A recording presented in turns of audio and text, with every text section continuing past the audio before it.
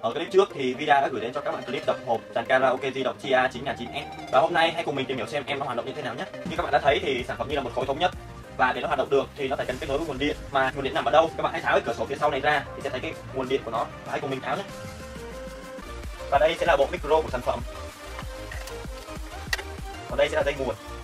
Và còn một lưu ý nhỏ là ở trên tấm lưới nó sẽ có một cái khe. Một cái khe nhỏ để cho dây nguồn có thể đi ngang qua đó và khi lấy dây nguồn ra rồi thì các bạn lưu ý là lắp cái tấm lưới lại.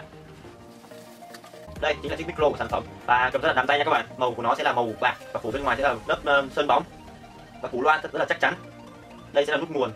Bật qua bên trái sẽ là mở bật qua bên phải sẽ là tắt. Phía trên nút nguồn sẽ là màn hình hiển thị.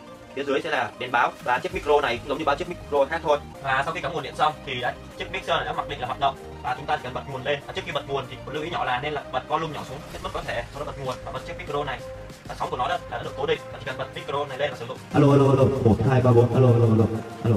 Và nếu mà muốn hát karaoke các bạn chỉ cần kết nối thiết bị với bluetooth và tên thiết bị sẽ là Atech và sau đó chúng ta sẽ bật nhạc lên và hát thôi